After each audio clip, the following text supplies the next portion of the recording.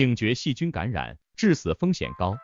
国际天后马丹娜因为败血症住院治疗，现在状况稳定，已经返家休养。谈到败血症，很多人都不陌生。其实败血症最常见的原因就是细菌性的感染，造成菌血症和人体各部位器官感染。败血症一般来讲会发烧、虚弱、呼吸和心跳加快，病况严重，整个人会陷入昏迷。台湾感染科林义聪教授表示，非常紧急的状况一定要及时的就医，赶快给予合适的抗生素，同时也要给予他足够的。这个点滴跟这些水分来维持住他这个血压。以及各项这个生命征象，所以最重要就是赶快发现有问题，赶快及早治医，赶快用正确的抗生素。台湾感染科主治医师、副教授曹世明进一步解释，败血性休克，那我们正常的人哦，实在不太容易说一下子细菌感染就到败血性休克，那除非说第一个就是年纪大，第二个呢免疫异常。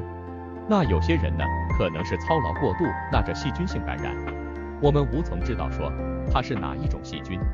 台湾感染科刘克森医师精准点出谁哪一种人比较容易得到败血症，也就是比较小的小孩、比较老的老人，或者是有一些癌症的病人、艾滋病的病人，或者是有一些正在使用类固醇治疗的病人或化疗的病人，他们本身因为抵抗力比较差。一旦有感染的时候，就比较容易进展到这样子的情况。曹世明说，只要是你有伤口，然后你又没有去好好处理这个伤口，这个是最重要的。那其他年纪大的人、免疫异常的人，那移植你吃了那些免疫的那个抑制剂，或者是说你有做化疗、有去洗肾等等，这些免疫异常的，都很容易得到这个病。临床研究指出，严重的感染。不论是病毒、细菌或是霉菌引起的，会造成各种器官功能变差，称之为败血症。更严重的时候，血压会降低，器官损伤更加恶化。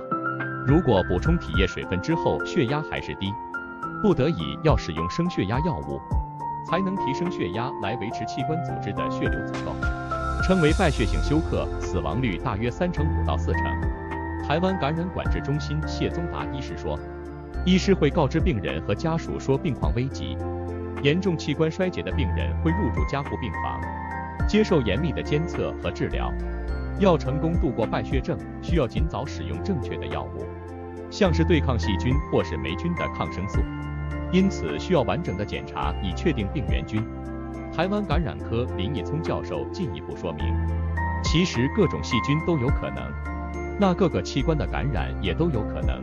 所以，我们治疗上，除了快速正确的抗生素，然后找出感染源，能够去做引流的地方就引流以外，有的时候也要根据这个导致败血症的细菌，它的抗药性的特性，选择最合适的抗生素。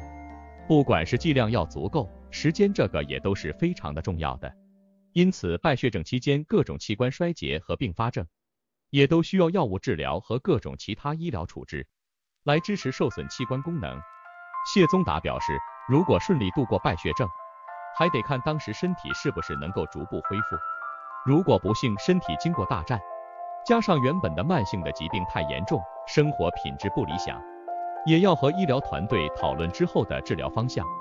台湾感染科刘克森医师说，民众如果有发现自己觉得呼吸很快，没办法喘气，非常的困难的呼吸，或者是心跳非常的快速，随时随地都很快。然后站起来有血压比较低，会产生头晕目眩。值得注意的是，身体免疫力比较弱，就更容易让这些细菌趁虚而入。而且细菌攻击我们体内之后，更可以繁殖的更快，然后造成更厉害的这个发炎反应。所以我们要注意自己的免疫力状况。如果比较不好的时候，一定要特别担心，这个败血症在这时候就可能会发生了。医师提醒，预防败血症。平时慢性疾病必须好好控制。健康生活编辑部。